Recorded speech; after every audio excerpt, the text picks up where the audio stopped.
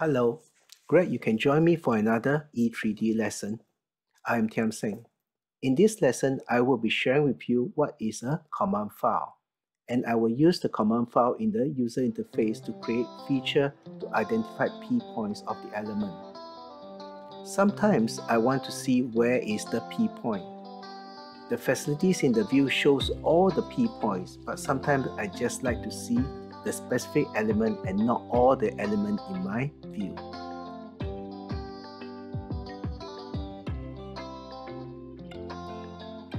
I'm ready. Are you? Let's start. We will create the command file to attach to our UI.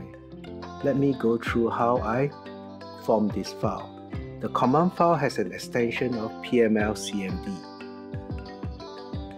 I've prepared a file with the various sections. The first section, keyword setup command, is to create the command. The command is like a form, a global variable. This ends with the exit keyword. Within the setup section, we can create member for the command if we want to. These members can be used to store information like the last element, access, etc.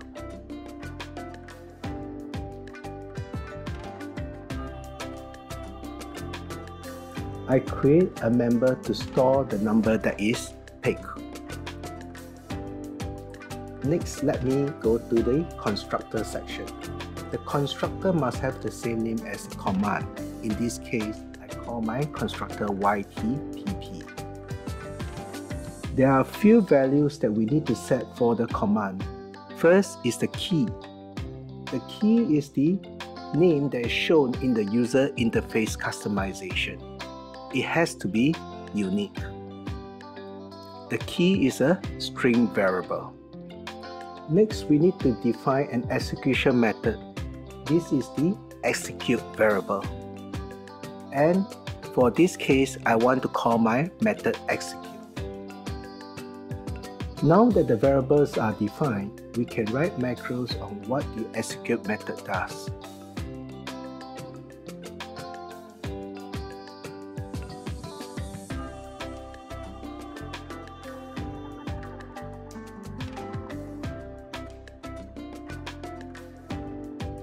To start, we need to know which p point did the user choose. To get the p point, I need to add 1 to the value chosen as the UI's selected value starts with 0 and not 1. And we store this into our member of the command.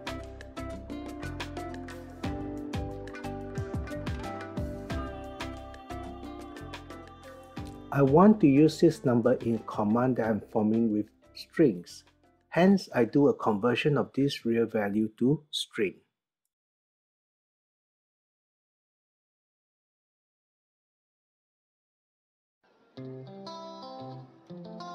If you look at the methods that the real number has, then you know that string is a method to convert it into a string. Next, I'm going to form the command that I like to execute. It is just to show the pin at the P point selected.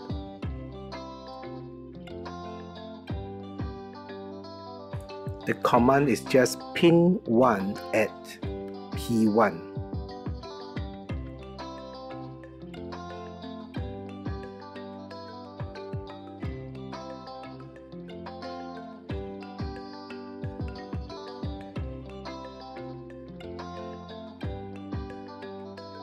Next, I just execute the command by evaluating the string.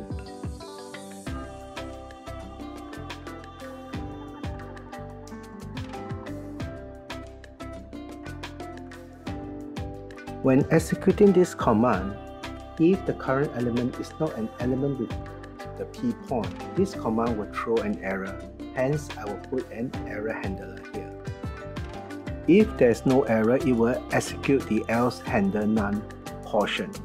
And basically, this means that the pin will be shown, but it cannot be seen clearly, hence I will make the item translucent. I will need to turn off the auto color mode as it will interfere with my settings for the item. And I will remove the item from the view and add it with a different color and translucency.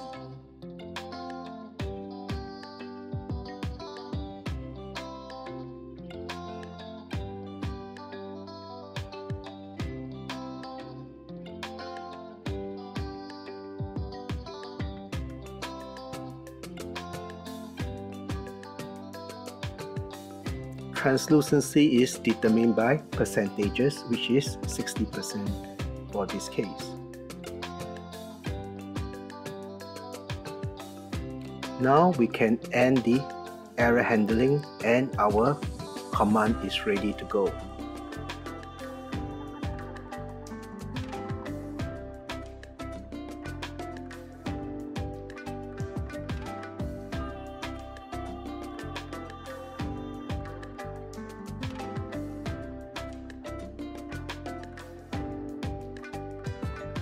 I've saved the command file in location within the PMLLIB. To use the command file, I need to do a PML rehash as I am already in E3D. To use a command, I need to load the command just like I would need to load a form. To see that the command is properly loaded, I can use Q variable to check whether the commands have been loaded properly.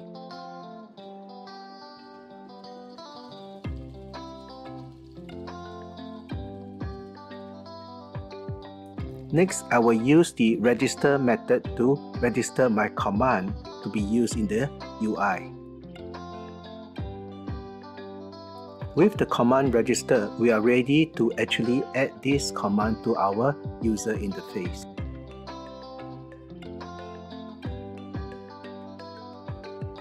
To start the customization, I select the active customization file. There is one for user by default. I've created a tab called TDS test and I also have created an existing combo box which I will modify to use for the function. Instead of steer, I modified the caption to P points. Next, I'll go into the collection to add the values of the P point which is 1, 2, 3, 4, 5 and so on.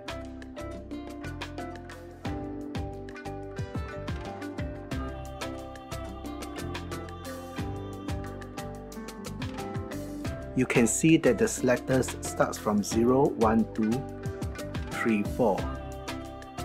So we have to add 1 to what is being selected.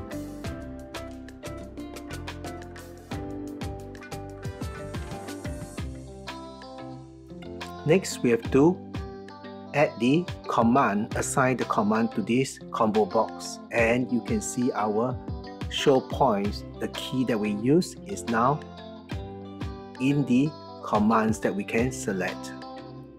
Let's select apply and we should be able to use our new command in the user interface.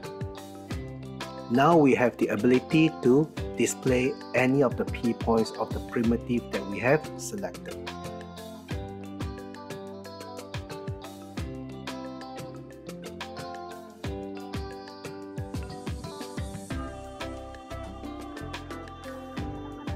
For those familiar with PML, you might want to stop here. The next portion is to create a new function to reset the view.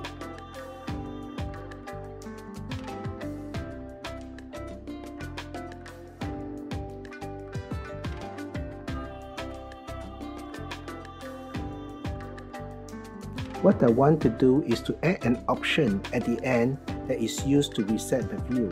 So I use an if statement to check for this.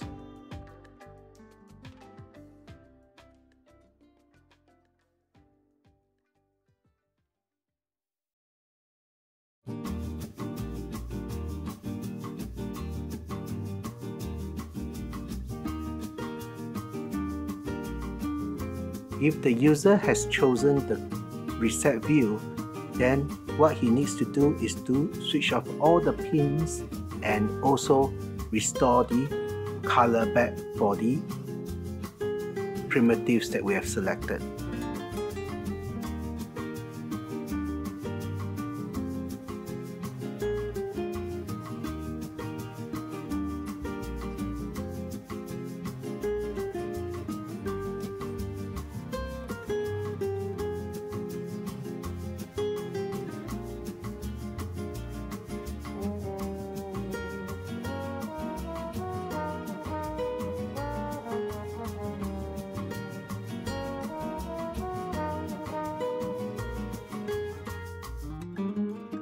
If the user has selected from 1 to 6, we need to execute our previous code.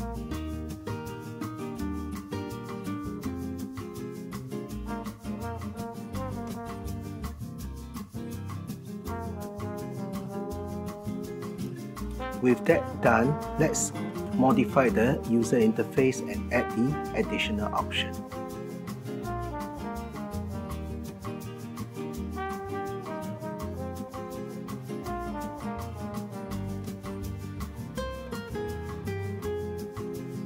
Let's apply and check our new function.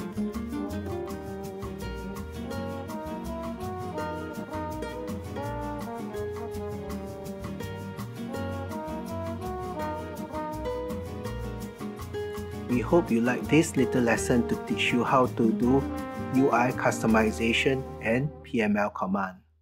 See you next time. Bye.